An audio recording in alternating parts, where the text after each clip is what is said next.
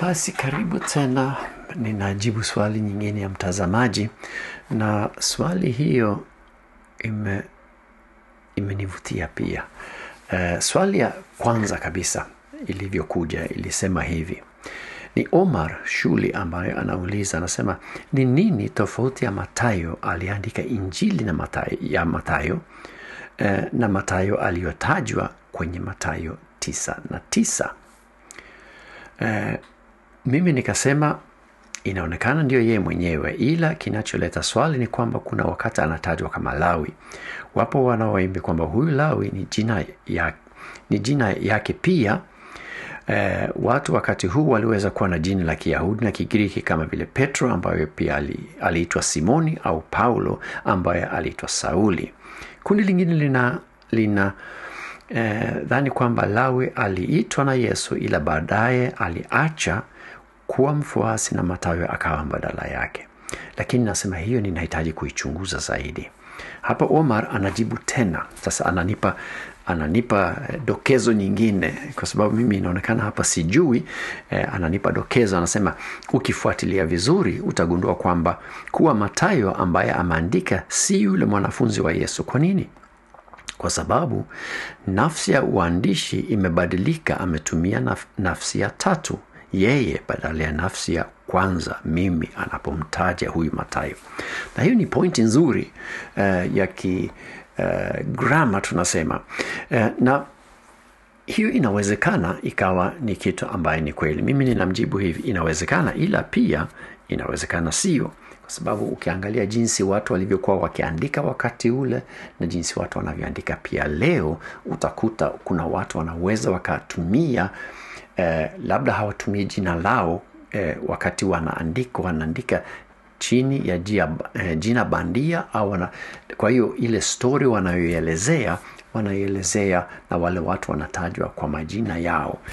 Pia eh, nadhani Omar ni, ni Muislamu sababu ni jina ya Kiislamu eh, inawezekana ni hivi, lakini kwake kuona kwamba anatumia eh, nafsi ya tatu ingempa imani zaidi ya kwamba imeshushwa na Mungu, maana hapa ni Mungu anaongea na huyu mtu anayeandika hana kauli, ana anaandika tu yale ambaye Mungu na Mungu asingeweza kusema mimi Matayo pale, ingebidi amtaje kwa jina, ila hiyo, hiyo ni, ni wazo tu ambayo nilipata wakati nilikuwa nikifikiria hayo mambo.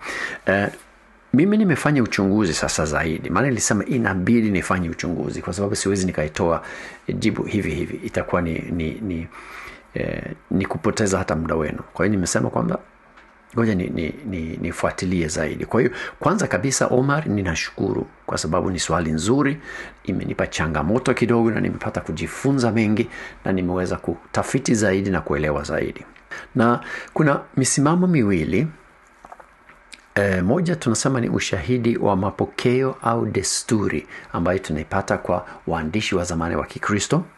Halafu tuna ushahidi mwingine wa kimaandiko au cha uchunguzi, na tutaangalia hizo sehemu mbili. Tutaangalia kama tunaweza tukaziunganisha au kama ni, ni njia mbili ambayo zinatengana moja kwa moja. Halafu tutaangalia huu ushahidi unatuelekeza wapi, yaani tunaweza tukafikia ufahamu gani juu ya injili ya Mathayo na mwandishi wa injili hiyo eh, na nitajaribu kuweza kusema kwamba okay, mwandishi wa injili nadhani nimeweza kusema kwa uhakika wa asilimia kubwa. Eh, huwezi ukawa na asilimia mia wakati kuna mjadala, hiyo haiwezekani, lakini vidokezo vinavyonipeleka ninaweza nikasema nadhani ilikuwa ni hivyo, na hiyo nitatoa mwisho wa video. Kama kawaida, kabla ya kuingilia kwenye somo moja kwa moja, ninakuomba ufanye kusubscribe, bonyeza thumbs up kama unapenda video zangu, na pia toa comment zako na mawazo ya, yako, na hasa tunapoongea juu ya mambo kama hayo, bila shaka kuna mawazo ambayo yanaweza yakapatikana hata kwako wewe mtazamaji. Haya, mimi nina, ninapopata swali ambayo inanipa changamoto na ambayo inanifanya nihitaji kufanya research kidogo, uh, mimi ninafurahi kwa sababu ndio kitu ambayo ninapenda kufanya na inanipa sababu ya kutafuta kitu. Unajua, unapofanya kazi kama hizi ya kwangu ya video, unatafuta oh, ngoja nifanye video ya hii, ngoja nifanye video ya hii. Ninapopata swali au changamoto fulani, inanisaidia pia kuwa na uwezo wa, kutengeneza video ambayo ninajua at least mtu mmoja ataiangalia na wazo lako ya kwamba mwandishi anatumia nafsi ya tatu badala ya kwanza anapomtaja matayo hiyo hiyo ilinivutia hata zaidi kwenda kufanya uchunguzi na kuangalia zaidi kwa sababu ni hoja inayoleta maana kwangu pia. Na ingawa katika jibu langu niliyoandika nasema si ajabu sana inawezekana kufanya hivyo inafanyika leo na imefanyika katika historia yote kwamba watu wana, wana wanaendeleza story na majina ya wale watu hata kama ni huyu mtu mwenyewe bado ataji, atajitaja kama mtu fulani na hataji tusema hata hata toboa ile siri yake kwamba hutajua kwamba ni yeye anaandika lakini bado. Na, na injili karibu zote ziko hivyo. Kwa hiyo eh, nafikiri si kitu cha ajabu na inatumika na imetumika katika historia. Kitu ambayo ninapenda kusema hapo mwanzo ni kwamba uhakika wa uandishi haupo. Huwezi kusema kwa asilimia mia huyu ndiye aliandika kwa sababu mjadala upo na kuna vipoint ambavyo vinaelekea huku na vingine vinaelekea huko kwa hiyo tunatafuta ushahidi tunatafuta vidokezo ambavyo vitatupeleka na kutuelekeza sehemu fulani na kusema kwamba inaonekana ilikuwa hivi okay? tunafahamu kwamba kanuni ya agano jipya iliandaliwa na waandishi waliokuwa na uhusiano wa karibu na yesu au mitume kwa hiyo vitabu vyote ambavyo tunavikuta katika agano jipya vilipata nafasi pale kwa sababu waandishi waliwatambua, wali na walitambulika kama watu ambayo aidha walikuwa na uhusiano wa karibu na mmoja wa mitume au yesu mwenyewe. Au alikuwa tuseme mwanafunzi wa yesu moja kwa moja. Kwa hiyo kulikuwepo hiyo hiyo hiyo tuseme walipokuwa wakichagua na kuangalia kama kitabu kitaweza kupata nafasi kwa sababu kulikuwepo maandiko mengi na wengi wanasema oh, mbona injili ya tomaso kwa nini hiyo haipo? Ni kwa sababu ni fake ni kwa sababu iliandikwa nafikiri kwenye karne ya pili au ya tatu na haina uhusiano na tomaso ambaye alikuwa ni mwanafunzi wa yesu. Ndio maana haipo na, na kwa sababu walifanya uchaguzi wa namna, hiyo okay sasa tutaanza kuangalia ushahidi wa mapokeo au desturi. Yaani hiyo ni, ni ushahidi wa kanisa. E, tunapata nini katika maandiko ya watu wa kanisa? Kwanza tunaweza kusema kwamba injili yenyewe haimtaji mwandishi. Si kwamba matayo anasema mimi matayo sijui mwana wa nani mwana wa alfayo itakuwa. E, niliandika hii injili. Hakuna hiyo. Hiyo haipo. Kwa hiyo hiyo lazima tukubali. Lakini ushahidi huu unasema kwamba injili ya matayo ni injili ya kwanza miongoni mwa injili nne tulizo nazo katika agano jipya. Hiyo tunaipata tunapoanza kwenda kwenye wakristo wa mwanzo tuseme wale waliofuata wale mitume kama viongozi katika makanisa. Katika maandiko yao tunapata kujua kwamba injili ya matayo ilikuwa ni injili ya kwanza kabla ya marko kabla ya luka na kabla ya yohana in, pili inadai kwamba iliandikwa katika kiebrania au kiaramaik ambayo ni lugha iliyotumika na wayahudi wakati ule. Kwa hiyo hayo ni madai ambayo yanaletwa. Wakristo wa kwanza wanasema kwamba haikuandikwa katika Kigiriki kama maandiko mengine ya agano jipya. Maandiko yote ya agano jipya yameandikwa katika lugha ya Kigiriki tangu mwanzo. Lakini eti hii haikuandikwa katika lugha ya Kigiriki, iliandikwa katika eh, kiebrania au kiaramaik na pia tunapata kuambiwa kwamba iliandikwa kwa wayahudi ambayo walikuwa wamepokea wamejiunga na ukristo ambayo walikuwa e, tuseme ni wakristo wa kiyahudi. Kuna muungano mkubwa katika injili hii na agano la kale ambayo ni andiko iliyotumika na wayahudi. E, hata leo inatumika na wayahudi agano la kale ni kama, ni kama biblia yao. Wakristo tunayo agano la kale na tumeongeza agano jipya lakini wayahudi wanafuata agano la kale. Naona kwa hiyo kuna muungano mwingi unaposoma injili ya matayo sisi hapa tuwezi tukaingilia hayo yote kwa sababu ita, it, itakuwa ni somo ya, ya vipindi ishirini nafikiri. Lakini ya tatu basi wanasema kwamba matayo mmoja wa wanafunzi wa yesu ndiye aliandika hiyo injili. Kwa hiyo kwanza wanasema kwamba ni, ni injili ya kwanza iliandikwa katika kiebrania na ni matayo mwanafunzi wa yesu ambayo aliandika. Na miongoni mwa wanaosema kwamba matayo aliandika hiyo injili ni ireneus na ireneus ni mwanatheolojia wa kwanza katika karne ya pili. Eh, alikuwa mzaliwa wa smirna alisoma roma na alikuwa askofu huko lyon ambayo ni, ni ufaransa sasa hivi anasema hivi matayo aliandika kitabu ya injili miongoni mwa wayahudi katika lugha yao ambapo petro na paulo walihubiri huko roma na kuanzisha kanisa. Mwingine ni origin eh, eh, origen ni mwanatheolojia mwingine maarufu aliyeishi alexandria mwisho wa karne ya pili na kuingia karne ya tatu. Yeye anasema hivi injili ya kwanza iliandikwa na matayo ambaye kwanza alikuwa mtoza ushuru ila akawa mtume wa yesu kristo na aliandaliwa kwa na iliandaliwa kwa, kwa wayahudi waliopokea ukristo katika lugha yao. Ndio maana iliandikwa katika kiebrania. Mwingine tena anaitwa eusebius mwanahistoria wa kanisa la awali mwanzo wa karne ya nne anasema matayo alianza kuwahubiri wayahudi. Wakati alipotaka kwenda kuwahubiri makabila mengine aliandika injili katika lugha yake ya asili kiebrania kwa maneno yake mwenyewe. Kwa hiyo yeye aliandika. Kwa hiyo wote hawa wanasema kwamba ni huyu matayo yeye pamoja na jerome wote wanasema kwamba pantaneos ambaye alikuwa mkristo aliyesafiri maeneo makubwa sana katika karne ya pili aliweza kuona injili ya matayo ikiwa imeandikwa katika kiebrania huko india. Unaona? Kwa hiyo tuna ushahidi ya macho ya kwamba waliona hiyo injili imeandikwa katika Ebrani, kiebrania na aliikuta huko india. No. jerome anasema hivi matayo ndiye lawi pia. Alikuwa mtoza ushuru akawa mtume.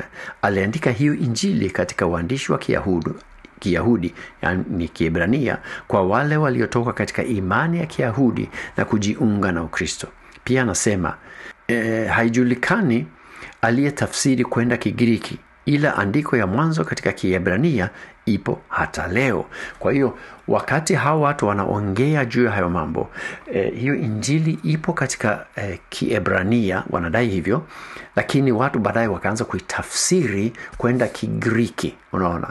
Kwa hiyo original kiebrania halafu wanaanza kuikopi na kuitafsiri kuja kigiriki hata mtu mwingine papayas au papias ambaye alikuwa mwanafunzi wa yohana na rafiki wa polikarpo askofu wa smirna huyu papayas alikuwa karibu sana na kanisa la asili na, poke, na, na mapokeo yake. Yeye anasema hivi matayo aliandika logia hiyo ni maneno ya yesu katika lugha ya kiebrania na wengine walizitafsiri hapa tumepitia baadhi ya washahidi wa, wa wanaosema kwamba matayo ndiye aliyeandika injili ya matayo na kwamba ilikuwa injili ya kwanza kuandikwa. Na pia tulipata kujua kwamba iliandikwa katika lugha ya kiebrania au kiaramaik sasa tuende kwenye ushahidi wa uchunguzi au ushahidi e, wa pili. Hapo sasa upinzani unakuwepo. Tukifuata utafiti wa wataalamu kwa miaka 250 zilizopita hadi siku zetu tunapata hiyo. Matayo inaonekana si injili ya kwanza. Wale walidai ni ya kwanza utafiti unapoifanya unasema kwamba mm, si ya kwanza. Hakuna rejea asili katika ya kiebrania leo ambayo tunaweza tukasema hiyo ndio injili ambayo wanadai kwamba waliona waliisoma na ilitumika na ilikuwepo wakati ule hiyo inaleta mashaka juu ya hoja hiyo yaani kwamba ilikuwepo. Inawezekana ilikuwepo. Vitabu vingi vimepotea katika historia. Na kama ilitafsiria wakuja griki hiyo ya kiebrania ni kama ile inawezekana haikuhitajika pia kwa kanisa kwa sababu maandiko yalienda greek. Inawezekana lakini inaleta unaposema kwamba ilikuwepo kitu halafu huwezi kuionyesha ni, ni ushahidi ambayo ni kama vile eh, unaweza ukaamini lakini kwa vile huioni ni vigumu kidogo. Nadhani haikuandikwa na mmoja ya mitume wa yesu matayo akiwemo. Hawaamini kwamba matayo mwanafunzi au huyu lawi ambaye alikuwa mtoza, ushuru ndiyo aliyeandika hiyo hiyo andiko. Ingawa hata leo bado wapo wa, wanaoamini kwamba matayo aliandika injili ya matayo walio wengi ya wataalam wanaamini mwandishi wa injili hiyo ni mtu mwingine na hiyo tunaongea juu ya injili kama ilivyo katika biblia zetu leo. Na hizo ambazo tunazo miswada yake katika kigiriki toka nafikiri karne kuanzia karne ya pili au kitu kama hiyo. Baada ya kuchunguza maandiko kwa makini sana wengi wanaamini kwamba injili ya kwanza kuandikwa ni injili ya marko na kuwa rejea nyingine inayotumika sana na matayo na luka inaitu, inatambulika kama q au kwele ambayo ni e, kijerumani kwa chemchemi. Yaani tuseme ni kama rejea au chemchemi pale ndiyo matayo na luka wamechota wakati wame, wametumia marko. Kuna rejea nyingi kutoka marko katika matayo na luka lakini pia wamekuwa na sehemu nyingine ambapo wanatoa kwa kuingiza katika injili zao na hiyo inaitwa ni q au kwele. Mtiririko inayopatikana katika marko pia inaonekana katika matayo na luka na hakuna sehemu ambayo luka na matayo yanaendana kwa mtiririko ambayo sasa inakwenda kupingana na marko ambayo inaenda tofauti na marko kama matayo ingekuwa ni ya kwanza ungesem, ungeweza kuona kwamba labda marko na luka wanamfuata matayo lakini inaonekana matayo na luka wanamfuata marko ndio maana wanasema kwamba inaonekana marko alikuwa ni wa kwanza. Pia injili hii haionekani haionyeshi hata kidogo kuwa imetafsiriwa kutoka injili iliyoandikwa katika lugha nyingine. Kwanza inaonekana ni injili iliyoandikwa katika lugha ya kigiriki tangu mwanzo kwa sababu griki yake wanasema ni nzuri sana. Yaani ni ya kisomi. Sio kama marko. Yaani hii ni greek ambayo ni nzuri. Na unapotafsiri mara nyingi katika kutafsiri lugha inabidi kama vile una, unasukuma lugha saa nyingine kwa kuweza kuelezea kitu. Na hapo ina hii wata, mimi nisingigundua lakini kwa wataalamu wanaweza wakaona mambo maana ndio kazi yao. Wanafanya wana hiyo kazi maisha yao yote kwa hiyo wataweza kuona hiyo kwa hiyo inaonekana wanasema inaonekana hiyo sio kitu ambayo imetafsiriwa kutoka sehemu isipokuwa ni kitu ambayo imeandikwa moja kwa moja na mtu. Tatu si rahisi kuamini kwamba matayo mfuasi na mtumwa wa yesu angefuata waandishi wa marko ambaye hakuwa mfuasi wa yesu. Angekuwa na andiko lake la kipekee. Marko hakuwa mfuasi wa yesu. Sasa matayo aanze kumkopi marko ambaye hakuwepo. Wakati yeye alikuwepo ni, hoja hizo zote zinaleta maana si ndio? Ukianza kuyachunguza yanaleta maana. Kwa kifupi tunaweza kusema kwamba tamko ya washahidi wa, kihistoria na uchunguzi wa maandiko yanapishana au kupingana kwa namna fulani. Kuna tunahitaji kufikiria sasa inawezekanaje kwa sababu hawa watu ushuhuda wao hawa wote ambayo nimewataja ni watu ambayo wanaaminika si watu ambao wanatunga uongo hivi hivi ovyo ovyo hapana. Ni watu wanaaminika na, na kanisa ni watu ambao tunajua kwamba ni, walikuwa ni wasimamizi wa makanisa. Ni watu wa heshima ni watu ambayo wana wanaongea ukweli. Sasa wao mbona wanaongea hivi? Alafu tunapofanya uchunguzi tunapata hiki. Tutawezaje kuunganisha hayo mawili kusudi tuone kuna, kuna eh, kitu ambayo tunasema okay inawezekana ni hivi kwa hiyo changamoto kwetu ni kujaribu kuelewa kwa nini tunaona jina la matayo kwenye injili hiyo. Hiyo ndiyo tutajaribu kufanya sasa. Basi ushahidi unatuelekeza wapi? Haya mambo yote sasa tuyafanyeje? E, tutaangalia mapendekezo matatu ambayo yapo ambayo wa, hao sasa ni wasomi. Mimi, mimi, mimi ninaenda kuchota kwa watu ambaye wananizidi elimu jamani na hapo ndio ninaweza nikapata. Kwa hiyo tutakwenda kuangalia wanasemaje hawa watu. Kwanza inawezekana kwamba matayo ni mwandisho wa andiko la q yani kwele. Pale ambapo injili ya matayo na injili ya luka inachota. Inawezekana walichota kwenye andiko ambaye huyu huyu matayo mwana wa alfayo ambaye ilikuwa ni mtoza ushuru alikuwa anaandika ameandika. Uh, katika uchunguzi wa injili uh, za matayo marko na luka inaonyesha kwamba matayo na luka wametumia baadhi ya rejea zao kutoka kwa marko lakini pia wamekuwa na rejea nyingine pia. Hiyo ni wazi hiyo inaeleweka. Eh, kama ume, umesoma na umechunguza mambo maandiko ya tuseme jinsi eh, injili zilivyoletwa.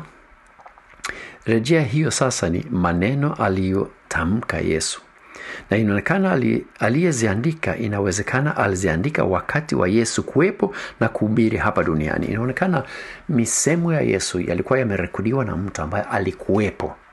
Kwa hiyo hapa inafiti kuwa mwanafunzi mmojawapo wa yesu alikuwa anachukua notes.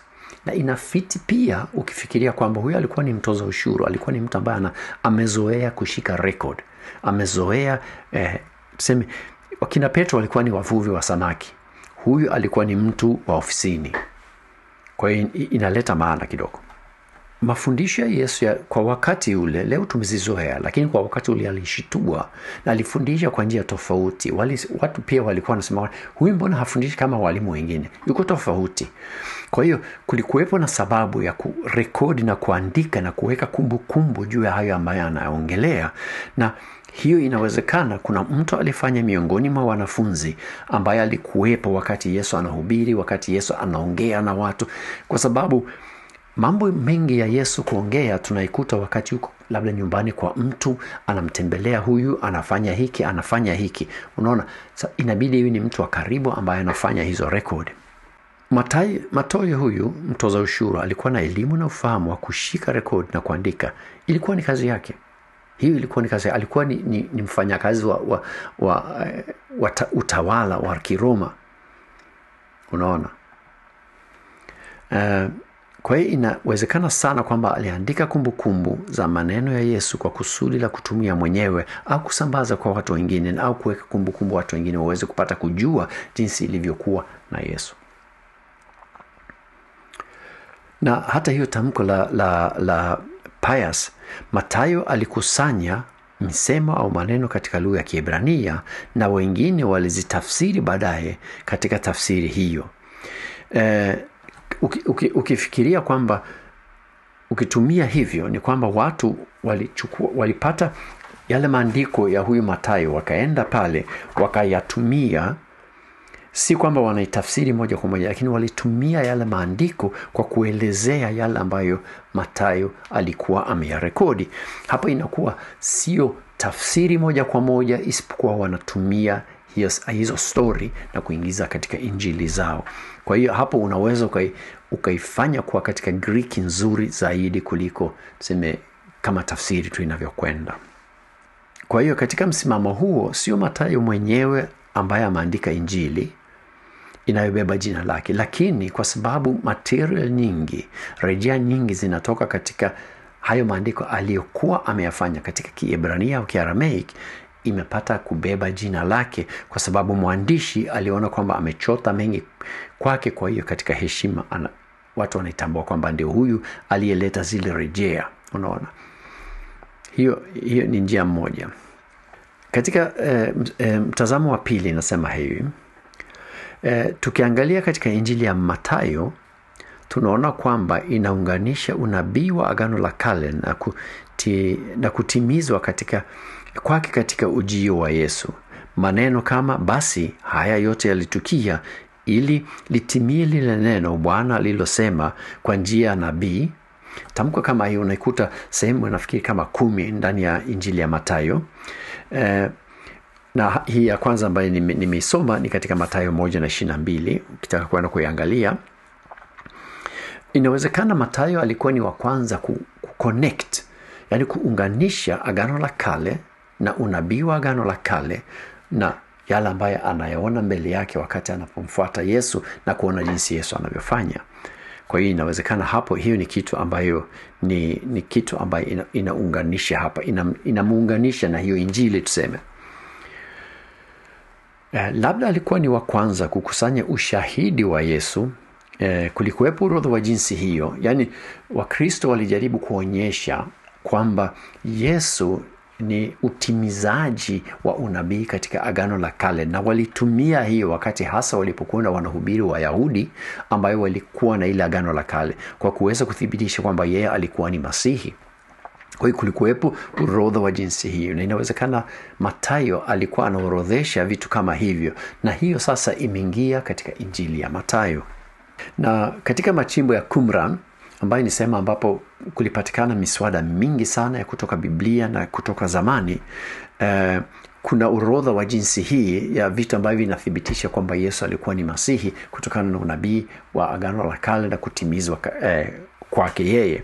Kwa hiyo hiyo ni mojawapo. Ni, ni theory au ni, ni wazo moja. Na labda papayas anaposema logia anamaanisha maandiko eh, sio misemo tu ya yesu bali maandiko mengi ambayo tuseme yana yanahusika na mambo ya yesu na kule kuthibitika kwa unabii na vitu kama hivyo.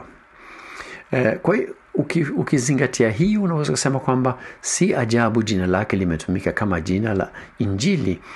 E, maana maandiko yake yalitumika sana e, kama msingi wa hiyo injili kiasi kwamba mwandishi alipenda kumpa hiyo shima tukienda ya tatu inasema hivi huenda matayo aliandika si maneno au kumbukumbu zake tu ila hata ya wengine waliotembea pamoja na yesu na aliyaweka katika uandishi iliyokuwa rahisi kukariri na katika mpangilio iliyofaa.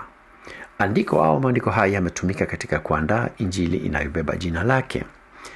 Eh, ni desturi na utamaduni eh, ambayo imekuwepo miongoni mwa wayahudi tangu zamani kwa kuweza kukumbuka maandiko yao yanayofahamika kama torati. Kwa hiyo inawezekana ni, ni, ni mkusanyiko wa maneno na maandiko ambayo huyu matayo aliandaa lakini bado yeye sio aliyeandika. Okay tunaanza kufika mwisho sasa. Basi nani aliandika injili ya matayo ya. Kwanza aliyeandika injili ya matayo inaonekana alikuwa ni mnyenyekevu maana hajitangazi kama mwandishi. Hiyo ni kitu kimoja. E, siku ze, za leo tunapenda kujitangaza kama watu maarufu hata kama hatuna umaarufu wowote lakini yeye ni kama vile hataki hata kuweka jina lake pale ana, anatumia jina ya yule ambaye alimsaidia kupata hizo rejea na kuelewa nini inayo nini ya kuandika. Inaonekana alikuwa mkristo maana inaonekana anapoandika anasimama pamoja na wanafunzi si na mafarisayo na wapenzani wengine. Kwa hiyo inaonekana alikuwa ni mkristo alikuwa ni mtu wa kanisa uh, inaonekana alikuwa mwandishi kama kazi kwa sababu lugha inayotumika uh, ni kigriki ya hali ya juu ya kisomi. Ni mtu ambaye anafahamu kuandika na hata upangaji wa matayo ni mzuri. Ni sio sio kama kitu ambaye maneno yamemwagwa yame tu kwenye karatasi halafu ni bahati kuelewa. Hapana kuna mpangilio kuna wazo nyuma yake. Na inaonekana pia alikuwa mwalimu maana anazingatia umuhimu wa kufundisha wanaoamini. Na tukisoma kwa mfano katika matayo tano na kumi na tisa inasema hivi basi yeyote atakayevunja hata amri moja ndogo kuliko zote na kuwafundisha wengine wafanye hivyo huyo atakuwa mdogo kabisa katika ufalme wa mungu wa mbinguni. Lakini yule atakayezishika na kuwafundisha wengine huyo atakuwa mkubwa katika ufalme wa mbinguni. Tukienda ishirini ishiri na nane na kumi na nane hadi ishirini tunaweza kusoma hivi. Yesu akajibu akaja karibu akawambia nimepewa mamlaka yote mbinguni na duniani. Nendeni basi mkawafanye watu wa mataifa yote wawe wanafunzi wangu mkiwabatizwa kwa jina la baba na la mwana na la roho mtakatifu. Wafundisheni kushika maagizo yote niliowapeni nami nipo pamoja nani siku zote naam mpaka mwisho wa nyakati. Kwa hiyo hapa eh, kunazingatiwa kule kufundisha na kusambaza tuseme. Na hi, hiyo ni kitu ambayo ina mwalimu wote anapenda mambo ya kufundisha. Hata mimi ninapenda kufundisha. Na ninapopata mafundisho mazuri ninafurahia. Na nina ni, mara nyingi nina, ninazingatia sana mafundisho katika makanisa. Tunahitaji kufundisha watu waelewe ukristo ni nini. Hiyo ni kitu ambayo mimi ninafanya ambapo mimi si mwalimu mkubwa lakini huwa ninajaribu. Yeye pia peke yake ana anahamasisha kazi ya kuwabatiza watu katika jina la yesu. Unaona? Ishiri na nane itakuwa na kumi na tisa inasema hivi. Mkiwabatiza kwa jina la baba na maana na roho mtakatifu. Hiyo ni yeye anasema kuwabatiza katika jina la yesu na, na, na mungu baba. Anaonyesha uhusiano na uyahudi. Inaonekana yeye alikuwa ni myahudi lakini hakuwa na ubaguzi na makundi ya watu au makabila mengine kwa, kama e, wapagani au watoza ushuru. Kwa hiyo eh, hiyo inaonekana ukisoma hiyo injili hapa itabidi uende kwaisoma inayodokeza kwamba eh, ilikuwa eh, mwandishi pia ni neno katika matayo kumi na tatu na hamsini na mbili inasema hivi. Naye akawambia hiyo basi kila mwalimu wa sheria anayekuwa mwanafunzi wa ufalme wa mbinguni anafanana na mwenye nyumba atoaye katika hazina yake vitu vipya na vya kale. Ina, kuna watu wanasema kwamba inawezekana huyu bwana alikuwa ni ni mwandishi. Na mwandishi katika muktadha wa kiyahudi ilikuwa ni wale ambayo wanafahamu maandiko ni watu ambayo walikuwa wanafundisha watu unaona. Kwa hiyo inawezekana alikuwa wa jinsi hiyo. Sasa tu ame, ametoka katika uyahudi ameingia katika ukristo na anaendelea na mambo hayo na ana, anaonyesha kwamba ni muhimu sana na kama ni mwalimu anayefahamu ataonyesha hiyo pia kwa sababu atatoa matunda mazuri atatoa mambo matamu katika maandiko na ataweza kufundisha watu mambo mazuri. Kwa hiyo inawezekana alikuwa ni mwalimu wa sheria wa kiyahudi na sasa amekuwa mwalimu wa sheria mpya ya yesu ya nazareti eh, na yeye pia alibadilika eh, sawasawa na matayo matayo alikuwa mtoza ushuru akawa mtume wa yesu. Huyu bwana alikuwa ni mwandishi wa kiyahudi e, mtaalamu wa, ma, wa, wa maandiko ya kiyahudi. Sasa ana amekuwa mtaalamu wa maandiko na injili. Kwa hiyo inaonekana yeye ame, ni kama vile amehamia kembi sasa hivi yuko anaendelea na, na ule ufahamu na, na tuseme uweza wake kama mwalimu lakini sasa anaitumia katika sehemu nyingine.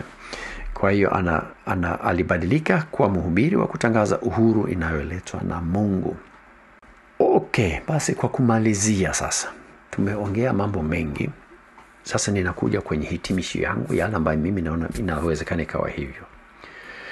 Kwangu ina, inaonekana kwamba msimamo yote miwili lina uhalali kwa kiasi chake.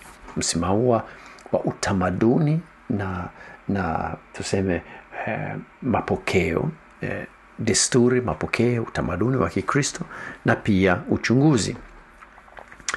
Ninaamini kwamba matayo mfuasi wa yesu ni rejea ya asili ya andiko la injili ya matayo inaonekana inawezekana hivi kwa sababu ushahudi ya wale watu wa mwanzo wanasema kwamba ni yeye ni yeye ni yeye, ni yeye wote kauli ni moja.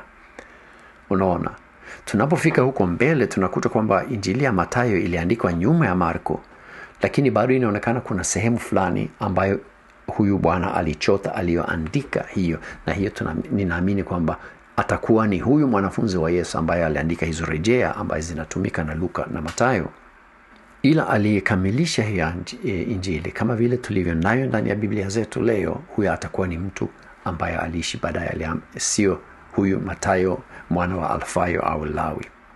Inawezekana sana kwamba matayo aliandika notes zake katika lugha ya kiebrania kama vile wale watu walivyosema eh, lakini zikatafsiriwa na zilitumika na watu wengine kwa njia mbalimbali. Injili ya matayo ni mojawapo ya utumiaji wa hayo maandiko ambaye huyu huyu eh, mwanafunzi wa yesu aliziandika mwanzo aliweka hizo hizo nani notes zake ambazo zilifika mpaka india. Kwa hiyo hiyo na, mimi ninaweza kuamini hivyo.